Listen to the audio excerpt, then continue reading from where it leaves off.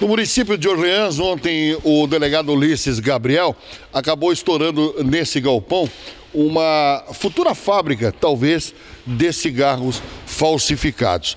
É, ultimamente se falou muito nisso, né, nessa questão de fabricação de cigarros é, como base no Brasil e usando mão de obra até paraguaia em relação a esse comércio. E aqui em Orleans, através de denúncias, o delegado chegou nesse galpão que nós vamos mostrar agora para vocês, um galpão onde ele encontrou um vasto material que seria usado para isso. Doutor Ulisses, surpresa, logo depois de uma matéria a nível nacional, aqui em Orleans já estoura uma pequena fábrica. É, na verdade, nós recebemos uma, um informe mais concreto, de forma anônima, no início da tarde de ontem, dando conta da existência de um local que possuía cargas roubadas. Nós melhoramos a informação no decorrer da tarde de ontem, fizemos campanas, identificamos o proprietário do local, na verdade, aquele indivíduo que locou uh, esse galpão.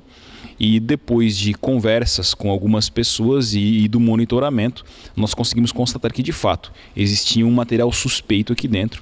Nós ingressamos no local e vimos que havia é, algumas caixas, um grande número de caixas, de uma substância que se chama blend, que é uma mistura uh, do tabaco, né, do fumo, com nicotina, açúcar e outros produtos, que é um material que vai dentro do cigarro. Além desse material que tá, está em diversas caixas e que teve é, as suas inscrições e seus adesivos retirados para não identificarem a procedência da carga, provavelmente roubada, furtada ou desviada de alguma fumageira, nós também, nós também constatamos a existência de material destinado a embalar o cigarro. Como pode se perceber aqui, é, há, várias, é, há vários materiais gráficos destinados a fazer a carteira do cigarro, a cola, a é, outros objetos que são para fazer os maços do cigarro. E também encontramos é, em um caminhão aqui material que já estava sendo descarregado, que seria destinado à produção propriamente dita do cigarro. Seria as máquinas? Sim, maquinário é, consistente em equipamentos que fazem é, o enrolamento do cigarro, outros maquinários que fazem a carteira, outros que fazem o próprio maço. Então, é, uma fábrica é, na verdade completa, é, que está aqui depositada nesse local e seria aí destinada à produção de cigarro. Cigarro, na verdade, paraguaio. É, as inscrições que constam, eles estão falsificando aqui no Brasil cigarro paraguaio para que vender para ter um custo menor na hora da venda e conseguir oferir mais lucros. Então, é, o que ocorre aqui é que há existência de um crime de receptação por esses desvios de cargas, esse material proveniente de crime, porque se fosse um material de procedência lícita, eles não teriam tirado é, os adesivos e as placas de identificação do material. Também constatamos a prática de um crime contra o consumidor em razão do fato de que o material que aqui estava possui é, uma procedência duvidosa, então isso para o consumidor final, aquela pessoa que deposita material que depois será destinado ao consumidor sem procedência, também comete um crime contra o consumidor cuja pena é de 2 a 5 anos. E nós constatamos é, que há mais pessoas envolvidas. Foi preso um indivíduo, mas é, a existência desses, é, desse, desse grupo de pessoas, porque são vários caminhões que há aqui dentro, é, e segundo consta, houve um, um transbordo de cargas aqui e várias pessoas estavam auxiliando nessa empreitada criminosa. Há um caminhão vermelho aqui no fundo, é, Volkswagen 2450, que possui um disparo de arma de fogo na porta do, do motorista e o proprietário desse caminhão possui passagem por tráfico internacional de drogas. Nós consultamos o irmão dele e ele também possui três passagens por tráfico. Doutor, a pessoa presa foi o Enio, que é uma pessoa moradora de Orleans, já conhecido pela polícia. Sim, já conhecido. Ele possui uma passagem por, por apropriação indébita, uma outra passagem por uh, adulteração de selo público e também já foi preso e cumpriu pena pela prática do crime de receptação qualificada. É, por pelo menos nove vezes ele vendeu e negociou nove veículos roubados ou furtados aqui na cidade de Orleans no ano 2006. Foi condenado no ano de 2012, é, cumpriu pena de cinco anos de reclusão.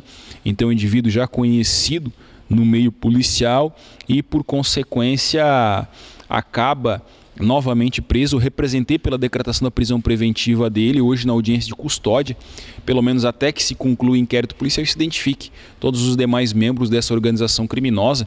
É, nós já havíamos recebido uma informação há algum tempo que na cidade de Orleans poderia ter uma fábrica clandestina de cigarros. Estávamos apurando a investigação até que ontem é, nós conseguimos chegar nesse local. Então, através dessa informação desse denunciante que nos procurou na delegacia de polícia, indicando o local, dizendo que em princípio havia carga roubada, que nós chegamos nessa fábrica, mas nós já tínhamos um conhecimento anterior que na cidade havia essa fábrica e por isso que nós estávamos levantando essas informações.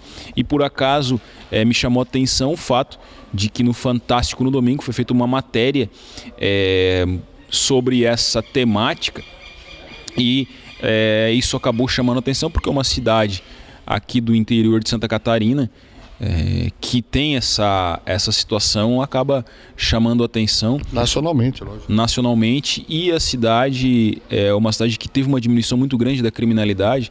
Nós reduzimos em quase 80% o número de roubos e mais de 35% o número de furtos, num trabalho em conjunto da Polícia Militar, da Polícia Civil, do Ministério Público e do Poder Judiciário. Nós tivemos cinco roubos desde que eu retornei aqui para a delegacia, os cinco elucidados. Então há uma, uma incidência e um combate ao crime muito grande em que mais de 100 pessoas foram conduzidas ou presas pela delegacia de Orleans nesse período. Então a criminalidade diminuiu bastante e nos causa surpresa que eles tenham sido tão ousados de querer instalar um, uma indústria clandestina aqui na nossa cidade. Doutor, só para a gente é, reforçar, é Enio do que é o nome dele? Enio Borgesan Medeiros tem 49 anos e acabou sendo preso e foi encaminhado para o presídio regional de Criciúma e hoje às 14 horas participará da audiência de custódia. Tá, o Enio é esse que você está vendo aí na foto, né? É... Bom, aqui eu só vou dar uma circulada aqui com o doutor Ulisses, apesar que o pessoal gentilmente colocou o material aqui. Olha aqui, gente, isso daqui é a parte gráfica do cigarro. Dá uma olhadinha aqui, ó né? A parte gráfica do cigarro, o doutor Ulisses tem também mais aqui na mão. Algum detalhe? É, para venda exclusiva no Paraguai, é, é, o que consta aqui, duas marcas, inclusive citadas na, na reportagem do Fantástico. Isso. A situação da cola. É, é, esse daqui seria a cola, aquilo ali seria aquele material que embala, que é tipo ourinho que eles chamam, né? E aqui a mistura é, do tabaco, enfim, né? Isso aqui seria a cola e aqui o tabaco. Agora eu vou mostrar para você, pode falar, querido, não tem problema. Isso daí é a cola, aqui o tabaco, mas eu quero mostrar para vocês agora o seguinte. Eu quero ir lá com o doutor Luiz mostrar o maquinário que está em cima do caminhão, que é um maquinário que vê, ó, todos esses três caminhões aqui, ó, fazem parte do esquema. Ali carregado de matéria-prima, né? Vocês podem ver ali dentro do baú, tá cheio de matéria-prima ali. E esse caminhão aqui, com essa placa, que já é aquela placa nova internacional, né, do Mercosul. Olha aqui, ó. Aqui, doutor, é o que o doutor Ulisses falava do tiro, né? Exatamente. Tem um tiro que acabou transfixando é, a porta do caminhão, atingindo nos pés ali do condutor. Do, do condutor. E há uma, uma outra situação aqui que pode também é, se tratar de um tiro. É, então, pelo menos aí dois projéteis teriam vejado esse caminhão. Aqui, caraca, mostra embaixo do volante ali tem outra marca que provavelmente também é de um tiro, um caminhão que foi levantado pela polícia e ele é a propriedade dele é de um traficante internacional. E aqui, ó, para que vocês vejam e acompanhem a matéria, aqui então seria o maquinário completo dessa fábrica que é, seria instalada aqui ou em outro lugar, mas que está no município é, de Orleans. Olha, na verdade, eu vou dizer uma coisa: se não há investigação, esse caminhão passando aí. Ninguém diz que isso daí é uma fábrica, né, doutor de cigarro, né? Não, é difícil, só se a pessoa conheça, né? Por exemplo, naquela primeira é, máquina. máquina que existe ali, é, Tem resquícios, né? Resquícios de, de fumo. Então dá para perceber que se trata, mas tem que fazer uma análise bem acurada, porque caso contrário, se chegar num local é, e passar, pode ser, ah, isso aí é para a indústria de plástico, alguma coisa do gênero. Bom, doutor Ulisses, é, é, eu sei que é difícil essa pergunta, mas se tem valor de quanto tem aqui, porque pelo que a gente nota aí, por exemplo, o mix do cigarro, cola, embalagem, maquinário, deve ser alguma coisa, um valor elevado, né? Sim, na verdade é uma, uma fábrica, né? Então nós vamos agora avaliar cada um desses materiais, fazer contato com empresas especializadas que atuam nesse setor é, do tabaco e verificar o que eles indicam sobre o valor de cada uma dessas máquinas. Bom, tá aqui o trabalho do Dr. Ulisses, né? A fábrica clandestina ou depósito clandestino. Nós não podemos dizer que a fábrica seria aqui, porque também eu quero isentar que esse galpão de uma outra pessoa pediram para guardar esse equipamento aqui. Verdade, ele, ele locou esse. É, a pessoa que foi presa acabou locando, ele é o, loca, é o, locador, o locatário desse estabelecimento aqui é, e por consequência até poderia ter sido instalado nesse local. Ele estava, inclusive, segundo investigações nossas, procurando também um outro local mais afastado é, para também utilizar. Bom, tá aqui então a, a fábrica foi estourada, a suposta fábrica estourada, todo o equipamento está apreendido, tem coisa que veio da China, é, tem tem coisa que não tem procedência, foi arrancada a procedência para a polícia não poder investigar. E ele, como é que é o nome dele? Enil Borgesan Medeiros. Deu amnésia, doutor? Deu amnésia, não lembrava o, a senha do celular, não lembrava as pessoas que teriam ajudado ele não lembrava quantos caminhões ele tinha aqui e esqueceu. Não deu para dar uma coisinha ali para lembrar? Não, não. Não, né? Então tá. Foi presídio já. Então tá. Mas olha, tá aí então. Ô, oh, ele, hein? Depois de uma matéria daquela cair nessa daqui, aqui. Vamos dar uma voltinha aqui, ô Carioca, porque aqui tem mais coisinha aqui, ó. Não pense que acabou, não acabou não. A coisa aqui é grande. Olha o número de caixas que tem aqui, que é aquele mix do cigarro, né? Para fazer o cigarro. A nicotina mesmo. Olha só o que tem. Olha, ia dar para fazer uma quantidade muito grande de cigarro aqui. Olha só aqui, ô Carioca. Eu vou até mostrar aqui, olha aqui, ó. ó um... Não parece ser serragem, mas não é não. Mas deve ter também um pouquinho para, para deve ter de tudo aí dentro, né? Pra, pra... E aqui as colas, olha aqui, ó. Aqui são os tubos de cola. É, aqui são os tubos de cola, enfim. Tava completo o negócio. Essa caixaria também. Vamos ver se Ó, é aquilo lá eu mostrei já que tem a, a C. Bom, tem, enfim, tem. Olha aqui, ó. Aqui, carioca, é uma caixa. Vamos ver se diz aqui a descrição. Olha aqui, ó. Só pega aqui a chinesa. Olha só que maravilha. Olha aqui, ó. Chinesa. Tá aqui, ó. Inscrição já diz chinesa aqui, ó. Agora, para traduzir, isso vai ser para quebrar, viu, cara? Não vai ter como. Bom, enfim, né, foi feito aí o trabalho, o doutor Ulisses acabou estourando a bronca aqui, material apreendido, o Enio que está ali, Enio Fretes, Mudanças, Transportes de Cargas. Olha, que transporte de carga que ele faz, hein? Não é brincadeira, não.